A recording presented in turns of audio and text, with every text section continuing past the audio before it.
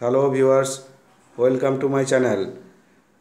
গত বারো আট দু হাজার কুড়ি তারিখে ওয়েস্ট বেঙ্গল ফিনান্স ডিপার্টমেন্ট থেকে একটা বিজ্ঞপ্তি জারি হয়েছে, যেটার মেমো নাম্বার হলো চব্বিশ তেরো।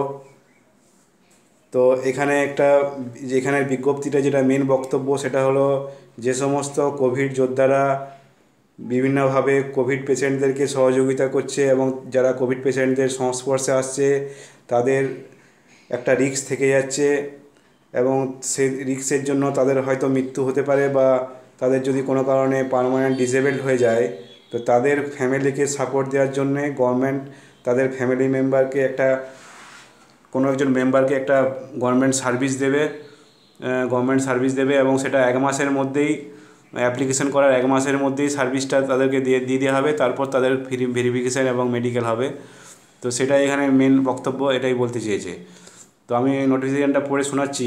দেখুন কী লিখেছে the state government has galvanized the entire state machinery and mobilized all resources at its disposal of combat the situation arising due to outbreak of COVID nineteen a large number of COVID warriors comprising permanent employee and contractual casual hire worker volunteers of the state government, urban and rural local bodies, public undertaking and other statutory bodies under the state government are working day and night risking their lives to provide urgent medical treatment and other support service to the affected population and to enforce restriction to ensure the containment of the pandemic.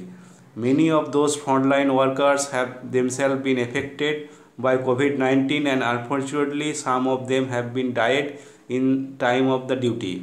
অর্থাৎ এই যে সমস্ত অনেক অনেক Covid যোদ্ধা আছে যারা গভর্নমেন্টের থেকে গভর্নমেন্ট থেকে সার্ভিস দিচ্ছে বা গভর্নমেন্ট আন্ডারটেকিং এইসব সমস্ত জায়গা থেকে সার্ভিস দিচ্ছে কোভিড পেশেন্টদেরকে এবং তারা ওই কোভিড পেশেন্টদের সংস্পর্শে আসছে তারা বিভিন্নভাবে তাদের তারা এফেক্টেড হয়ে যাচ্ছে এবং তার সার্ভিস দিয়ে তারা বিভিন্ন রকমভাবে এফেক্টেড হয়ে যাচ্ছে বা তাদের কোনো কারণে মৃত্যু হয়ে যাচ্ছে।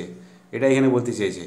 তারপরে কি বলছে দেখুন the state government has already implemented a starting measure to stand beside those this frontline workers it is bearing the entire cost of treatment in the event of unfortunate dismiss of the covid warriors. The family is being assisted by the grant of rupees 10 lakh. অর্থাৎ state government already implement করে দিয়েছে। যে সমস্ত Covid ওরিয়াররা ফ্রন্টলাইনে আছে, তাদের ফ্যামিলিকে support দেওয়ার জন্য দশ লাখ টাকার যে অ্যাসিস্ট্যান্ট সেটা অলরেডি ঘোষণা করে দিয়েছে।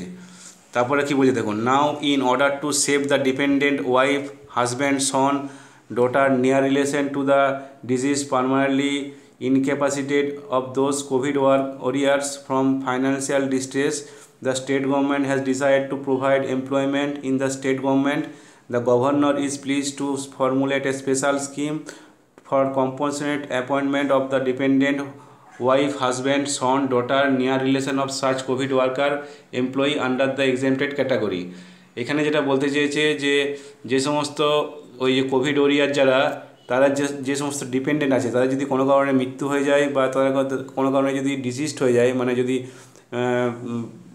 তারা যদি অকেজো হয়ে যায়, সেক্ষেত্রে তাদের যে ওয়াইফ মানে স্ত্রী বা হাজব্যান্ড বা পুত্র বা কন্যা বা নিয়ার রিলেশন যদি কেউ থাকে, তারা, তাদেরকে গভর্নমেন্ট একটা কম্পেনসেট গ্রাউন্ডে সার্ভিস দেবে, চাকরি দেবে এক্সামটেড ক্যাটাগরির আন্ডারে এটা এখানে বলতে দিয়েছে তারপর নিচে দেখুন নোট দেওয়া আছে নিয়ার রিলেশন মিনস এখানে নিয়ার রিলেশনের ডেফিনেশনটা দেওয়া আছে। হাজব্যান্ড ওয়াইফ তো এগুলো তো হচ্ছেই, তার সঙ্গে সঙ্গে নিয়ার নিয়ার রিলেশনটাও ইনক্লুড করা আছে। এই নিয়ার রিলেশনের ব্যাপারটা এখানে বলে দেওয়া আছে, আমি এটার বিস্তারিত যাচ্ছি না। তারপর দেখুন, এক নম্বরে দেখুন আসছে the scheme the scheme may be called the West Bengal special compensated appointment scheme দু হাজার কুড়ি। অর্থাৎ এই স্কিমটার নাম হচ্ছে West Bengal special composite appointment scheme দু হাজার কুড়ি। আর ব্র্যাকেটের মধ্যে লেখা আছে to the dependent of the COVID warrior who has died or has been permanently incapacitated due to COVID nineteen অর্থাৎ ওই ব্র্যাকেটে যেটা বলা আছে, সেটা বলছে কোভিড ওরিয়ার যারা যারা মারা গেছে বা যারা পারমানেন্টলি ডিসেবলড হয়ে গেছে ডিউ টু কোভিড নাইন্টিন মানে কোভিড নাইন্টিনের জন্যে, তাদেরকে, তারা এই স্কিমটার আন্ডারে আসছে আর কি। তারপরে বলছে, দেখুন দ্য দুই অ্যাপ্লিকেশন দ্য অর্থাৎ কোথায় এটা অ্যাপ্লাই হবে? The scheme will be applicable to the dependent family member of the following categories of employees who died on COVID nineteen related duty have died or have been rendered permanently incapacitated due to COVID-19 for further service অর্থাৎ এখানে বলতে চাইছে যে সমস্ত Covid ওরিয়াররা front লাইনের থেকে যুদ্ধ front লাইনের থেকে কোভিড নাইন্টিন পেশেন্টদেরকে বিভিন্ন রকমভাবে সহযোগিতা করছে। তাদের যদি কোনো কারণে মৃত্যু হয়ে যায় বা তারা যদি কোনো কারণে ডিসেবলড হয়ে যায় তাদের, তারা কিন্তু তারাই, তাদের ফ্যামিলি মেম্বাররাই এই স্কিমের স্কিমের আন্ডারে আসবে। এটাই, বা তারা এই স্কিমটার আন্ডারে পড়বে। এটা এখানে বলতে চাইছি। তাদের ক্ষেত্রে এটা অ্যাপ্লাই হবে।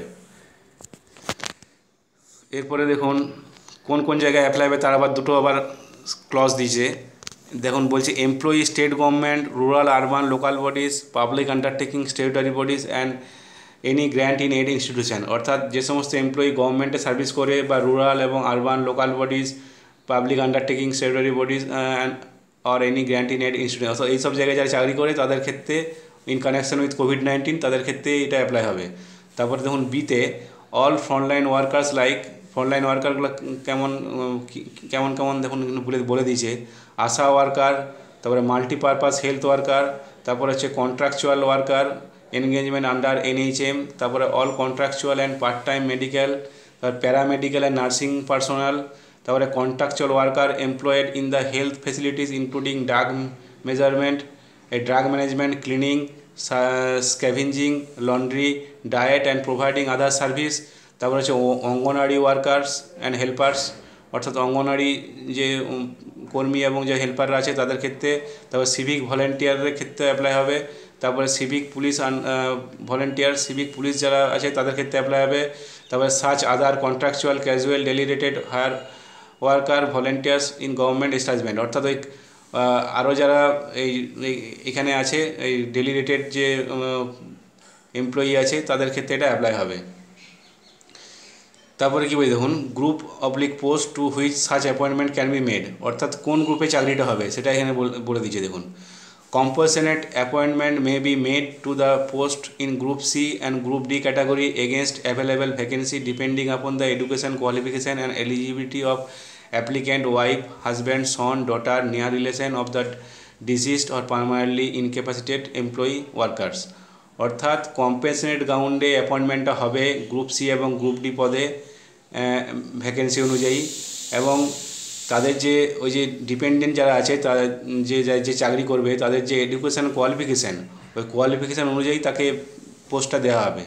গ্রুপ সি বা গ্রুপ ডি যেখানে দেবে, সেটা তার কোয়ালিফিকেশান অনুযায়ী পাবে আর কি। তারপরে বলেছে যে in exceptional circumstance the department concern with concurrence of finance department may consider appointment in other categories of post in consideration of higher qualification and eligibility of the candidate অর্থাৎ কিছু এক্সেপশনাল কেসে যাদের ধরুন একটু হায়ার কোয়ালিফিকেশান আছে, তাদের ক্ষেত্রে government একটা ফাইন্যান্স ডিপার্টমেন্টের কাছ থেকে অ্যাপ্রুভাল নিয়ে নিয়ে বা ফাইন্যান্স ডিপার্টমেন্টকে জানিয়ে তাদের ক্ষেত্রে একটা কোন পদে অ্যাপয়েন্টমেন্ট দেওয়া যায় সেটা একটা চিন্তাভাবনা করবে আর কি। এটাই বলতে চাইছে। তারপরে বলছে অ্যাপয়েন্টমেন্ট অ্যাপয়েন্টিং অথরিটি বলছে department concern under which the deceased permanently incapacitated employee worker had been working will be appointing authority অর্থাৎ যে ডিপার্টমেন্টে যেখানে যে ডিপার্টমেন্টে ওই ব্যক্তি চাকরি করতো আর কি, ওই সে, তিনি হবেন আর কি ওই অ্যাপয়েন্টমেন্ট অথরিটি তারপরে বলছে the head of department will give final approval of such appointment with the approval of the MIC of the concern department অর্থাৎ ওই হেড অফ দ্য অফিস বা হেড অফ দ্য ডিপার্টমেন্ট ওই যে ডিপার্টমেন্টের যিনি head তিনি একটা অ্যাপ্রুভাল দিবেন ওই অ্যাপয়েন্টমেন্টের এগেনস্টে এবং তিনি ওই অ্যাপ্রুভালটা ওই এমআইসির কাছ থেকে একটা মানে একটা সম্মতি নিয়ে তারপর তিনি অ্যাপ্রুভালটা দেবেন।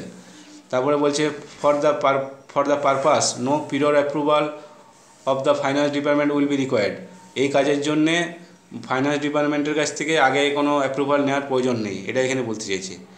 তারপরে কি বলছে দেখুন। In the event of non-availability of vacancy in the respective department, necessary post or posts may be created with the concurrence of finance department অর্থাৎ কোনো কারণে যদি ভ্যাকেন্সি যদি না থাকে ওই ডিপার্টমেন্টে এক্সামটেড ক্যাটাগরিতে বা ওই ওই জায়গায়, সেক্ষেত্রে ডিপার্টমেন্ট একটা ডিপার্টমেন্ট মানে পোস্ট তৈরি করে তৈরি করে নেবে ফাইন্যান্স ডিপার্টমেন্টের কনকারেন্স নিয়ে। এটা এখানে বলতে চাইছে। তারপরে দেখুন প্রসিডিওর টু বি ফলোড এই প্রসিডিওর টু বি ফলোড সেটা আমি একটু সংক্ষেপে বলে দিচ্ছি। এখানে বলছে the department of the deceased permanently incapacitated employee worker intending of avail the facility of scheme shall apply plain paper along with certificate death এখানে তার মানে বলতে চাইছে যে এখানে যে ওই একটা সাদা কাগজে ওই যে ডিপেন্ডেন্ট আছে, উনি একটা সাদা কাগজে অ্যাপ্লাই করবেন এবং তার সমস্ত ডকুমেন্টস দিয়ে এডুকেশান কোয়ালিফিকেশান দিয়ে কাস্ট স্ট্যাটাস যে আছে কাস্ট সার্টিফিকেট এগুলো দিয়ে একটা হেড অফ দ্য অফিসকে একটা অ্যাপ্লাই করবেন। তারপর হচ্ছে বলছে দু নম্বরে head of office will obtain declaration অর্থাৎ হেড অফ অফিস একটা ফ্যামিলি মেম্বারদের কাছ থেকে একটা ডিক্লারেশন নিয়ে নেবে যে তাদের কাছ থেকে একটা নো অবজেকশন নিয়ে নেবে যে তাদের ওই ফ্যামিলি মেম্বারকে চাকরি দিলে তাদের কোনো সমস্যা নেই বা তাদের কোনো অবজেকশন নেই।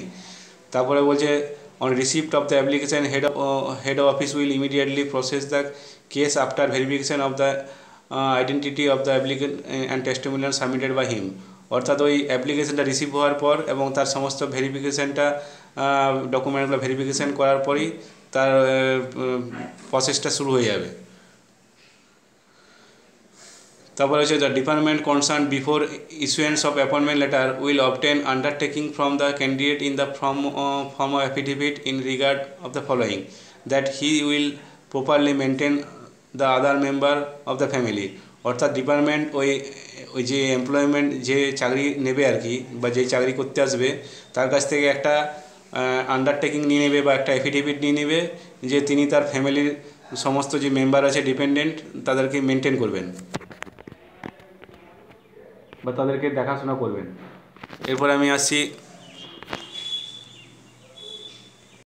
তারপরে কি বলছি দেখুন that the following information regarding his educational qualification age etc are true the uh, failure to which aid in the event of any adverse report is detected upon detected upon completion of police verification his appointment shall be liable to be terminated অর্থাৎ ওই যিনি চাকরি করবেন তিনি যদি তার ওই ডকুমেন্টগুলো যদি কোনো কারণে জাল করেন বা যদি ভুল কোনো ইনফরমেশান দেন, সেক্ষেত্রে কিন্তু যদি পুলিশ ডিপার্টমেন্টে ভেরিফিকেশানে ধরা পড়ে যান, সেক্ষেত্রে তার কিন্তু সার্ভিসটা কিন্তু টার্মিনেট হয়ে যাবে।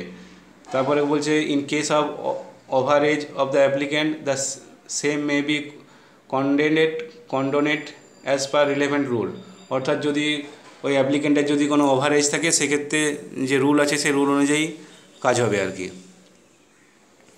তারপরে কী বলছি? ছ নম্বরে। Time frame of issuance of appointment letter অর্থাৎ এখানে কি বলছে দেখুন?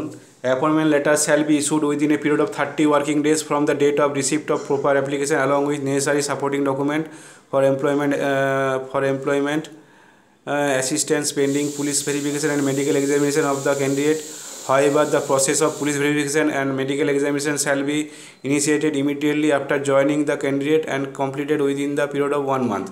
ওই যে আমি আগেই বললাম, আগেই বলেছি, প্রথমেই বলেছি যেটা যে তিরিশ দিনের মধ্যেই তার অ্যাপয়েন্টমেন্টটা কমপ্লিট অ্যাপয়েন্টমেন্টটা দিয়ে দেবে গভর্নমেন্ট মানে তার সমস্ত ডকুমেন্টস দিয়ে দেওয়ার পর অ্যাপ্লাই করে দেওয়ার পর তার তিরিশ দিনের মধ্যে তাকে অ্যাপয়েন্টমেন্ট দেওয়া হবে। তারপর তার সমস্ত রকম মেডিকেল এবং যে পুলিশ ভেরিফিকেশন হবে সেগুলো পরে হবে, এক মাস পর। তারপরে বলছে overriding priority offering a job under this scheme will have overriding priority and precedence over other case of appointment under exempted category অর্থাৎ ওই এক্সামটেড ক্যাটাগরিতে এটা একটা যে চাকরিটা হবে সেটা তাকে একটা প্রায়োরিটি দেওয়া হবে। এটা এখানে বলতে চেয়েছি। তারপরে general it is presume that the family of deceased permanently incapacitated employee worker volunteer would submit application for employee assistance within every short period within a very short period. However, the head of office may wait for submission such application. এগুলো আমি আর বিস্তারিত যাচ্ছি না। এরপর দেখুন, যেটা আমি একদম নিচে চলে যাচ্ছি, যেটা মেন ন নম্বর পয়েন্টটা সেখানে বলছে, দেখুন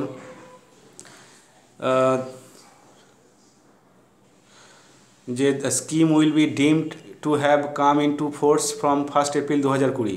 অর্থাৎ এই স্কিমটা ফার্স্ট এপ্রিল দু হাজার কুড়ি থেকে লাগু হয়ে যাচ্ছে। নিচে দেখুন সই করেছে additional chief secretary to the government of West Bengal তো ভিডিওটা আমি এখানেই শেষ করছি, আমি আর বিস্তারিত যাচ্ছি না। আর আপনাদের কাছে এই জায়গাটা একটু ডিসপ্লে করে দিচ্ছি, যে জেনারেল পোর্শনটা আপনারা একটু দেখে নেবেন।